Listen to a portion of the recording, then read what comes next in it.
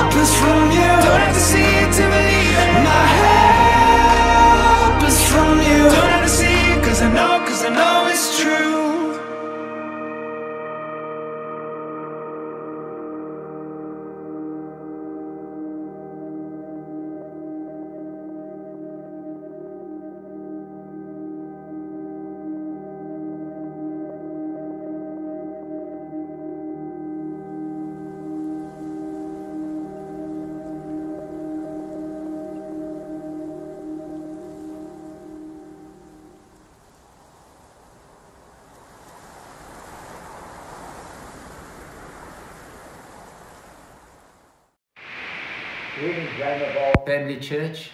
Great to connect with you today. I Hope this time of watching this streaming of our church service finds you in the love of God and keeping yourself in the faith of our Lord Jesus Christ. You know, this morning uh, I want to speak to you about pursuing peace. I think peace is something that everybody desires in life, and yet peace is sometimes so hard to find. We can see that there's not much peace around, that you have nation against nation, and you have political upheaval, you have all kinds of upheaval in life. And it just seems like even though we're so far advanced with all our technology, like me being able to communicate with you through the technology and the media we have today, it just seems like we've never been able to find the peace this world is looking for because I think that what is happening is they're trying to look for it in the wrong place. And I believe that you can find peace in God. Let me read a scripture to you this morning. It says this in Isaiah 9 6. It says, Unto us a child is born, unto us a son is given, and the government shall be upon his shoulder. These will be the royal titles Wonderful Counselor, Almighty God, Everlasting Father, and Prince of Peace. Prince of Peace. You know, one of God's redemptive names is Jehovah Shalom, which means peace, the God of peace. And the characteristic of God is that God is a God of peace. And so I believe today the only place that you and I can find real peace is in Jesus Christ, our Lord. In John chapter 14, 27, Jesus said this, Peace I leave with you my perfect peace I give to you, not as this world gives, I give unto you. Do not let your heart be troubled, nor be afraid. Let my perfect peace calm you in every situation and give you courage and strength in every challenge. Notice here it talks about Jesus saying, I give you my perfect peace. I love that word perfect peace, and, and I believe that we can live in perfect peace in our lives. What would we have to do, you and I, to live in perfect peace? Well, I believe living in perfect peace means that we need to live in harmony. Make harmony. You know, harmony actually uh, speaks about agreement uh, or being in tune. It actually comes, harmony comes from the music world where the instruments they play are harmonized with each other. And you know, uh, if you went into an orchestra, you know, you'd have all these musicians. Just to give you this example, all these musicians that, that play all these wonderful instruments and they make beautiful melody together when they harmonize with those instruments. But at the same time, you know, if you and I went to any one of those musicians and we said to them, you know, what, what instruments do you think is the most important in this orchestra? You know, you'll find the violinist say, well, I believe the violin is more important. Then you'll have the sax player say, no, the sax is more important. Or you might have the trombone player say, no, the trombone is more important. Or the percussion people saying, the percussion is more important. And so they will disagree in what they believe is the most important instrument in that orchestra. But yet, when they play that music, they come into harmony with each other. And you know, that is what we should be like in life. To have this perfect peace Jesus talks about. We need to go and live in harmony with one another, even if we disagree. Because we know this, that in life, we'll not always agree on everything. But you know, one thing we can learn in life is this is that we can agree to be disagreeable and not allow our disagreements to cause disruptions in any way, but just to go on and understand we don't always see life in the same way. And so, if we can get to that place in life and understand that not everything agrees in life, but yet we can still harmonize with one another we can still walk in that peace, in that harmony that we can have in life. So important for us to do that today. And so the other thing that we need to understand for us to live in perfect peace is that we need to hold on to peace. Uh, you know, uh, sometimes if you're not careful, you'll allow peace to go. So you've got to hold on to your peace in life. And so you'll find that to hold on to peace in your life is that there are many times that you will have to suppress your thoughts and stop yourself from saying things that uh, you, you want to say. One of the greatest lessons I learned, Laurel and myself in life was this, is that, uh, you know, every couple, every married couple will at some time or another get to a place where they have arguments or disagreements in life. And one of the things that we've learned in our life, and it was such a wonderful lesson for us to learn, was this, is that keep quiet for the sake of peace. Sometimes don't always speak your mind. You know, people feel sometimes I'm going to speak my mind and I'm going to say what I want to. You know, speaking your mind does not always bring forth the peace that you need in your life. So just learn sometimes just to keep your mouth closed.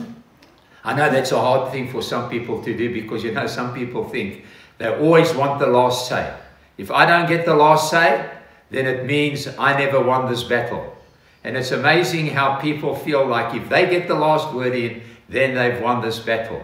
Well, let me say this to you. There's no victory in getting the last word in when it comes in, in that way of making peace with one another, which we should do in life. That is one of the greatest things I've learned in my life, is this is that don't always say what you think. Just keep quiet. You know, there's a beautiful scripture that can help you if you pray it over your life from Psalm 141 3. It says, Help me, Lord, to keep my mouth shut and my lips sealed. Sometimes we need God just to help us keep our mouths shut so that we can have this perfect peace, that we can create this, uh, this atmosphere of peace around us in our lives, which is so very important for us to do that in life. Another thing that we'll have to do if we want to have peace around in our lives is this, is we need to avoid quarrels and arguments and things that, that go on. Uh, you know, sometimes it's so easy to just get caught up in an argument and, and things happen around you. And, and you know, we all know this, that arguments and arguing and quarrels and stuff like that, it never leaves a good feeling on us in our lives. Uh, and so we need to avoid those things and do it. And you know, especially to say this to you at the time that you and I are living in right now with these uh, lockdown restrictions and that, all that. And you know, we, we all have different circumstances. Maybe you have a large family and you might not be staying in a, a very spacious area. And you know, it becomes a very challenging thing to you where you become very restrictive and you people around you and people are doing different things and it doesn't take long where you feel people start getting on your nerves.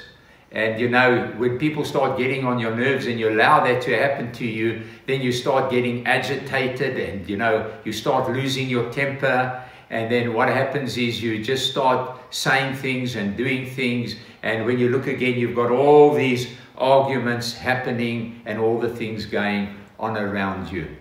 You know, it was interesting to me that uh, a couple of days ago, I was watching the TV and they were actually had two psychologists on the TV talking and they were talking about what kind of effect that this lockdown would have on families.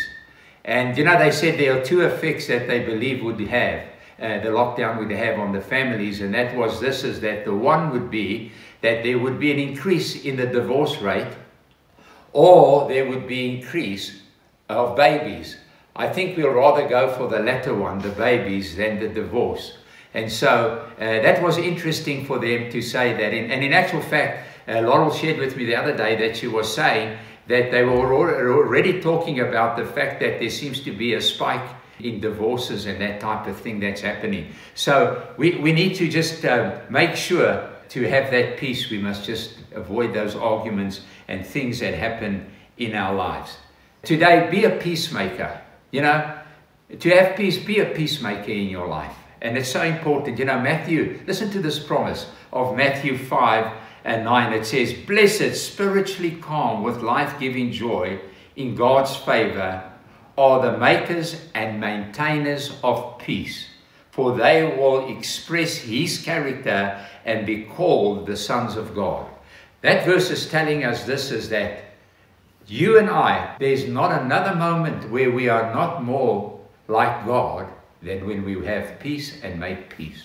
God is a God of peace. It's His character, it's His nature, and we show forth that character of God and that trait in our lives when we are the ones that go and make peace. I like what the Message Bible says. It says this You are blessed when you can show people how to cooperate instead of compete and fight. That's when you'll discover who you really are and your place in God's family. And so it's so important for us to, to do that in our lives is just be a peacemaker. Try and diffuse situations in this time that we live because people are on edge. And, and sometimes just a kind word, just saying something, everything's going to be okay, that can bring forth a place of bringing peace into people's lives that, that people need so desperately at this particular time in life. A mature person is always the person that will apologize or say sorry first. Well, you might say, you know, why must I say sorry if I wasn't the one that started it? Why must I say sorry if I'm not to blame? And many times we'll try and justify why we shouldn't make peace. But let me say this to you. Do not sit back and not make peace because it's not your fault or it is your fault. Just show yourself more Christ like. Be mature and make peace because peace is good for us in our lives. Be the one that will initiate it and make peace in the life. It's so important. Why? Why, why is that? Because, you know, peace is vital for you and I. It's vital because without peace in our lives, we find ourselves open to contentions and to, to stress and different things in our lives. And you know, we know this today that medical science has proven that a lot of people's sicknesses and things that come upon them is caused from stress. And so, you know, this is a good promise for us that if we can pursue peace and stay in peace, we can have a good life. Notice what it says here in 1 Peter chapter 3, 10 to 12, out of the Message Bible. It says, summing it up, be agreeable, sympathetic, be loving, compassionate, be humble. That goes for all of us, no exception no retaliation, no sharp tongue, sarcasm. Instead, bless. That's your job to bless and be a blessing, and you will get a blessing. Whoever wants to embrace life and see a day filled with good, if you want to see your day filled with good, here's what you need to do say nothing evil or hurtful, snub evil, and cultivate good.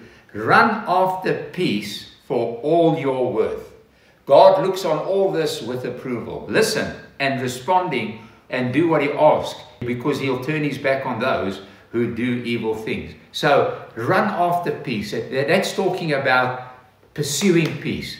Go after peace in every way you can. I like what the psalmist said in Psalm 34, verses 12 and 14. He said this in the Bible. He says this What man is he that desires life and loveth many days?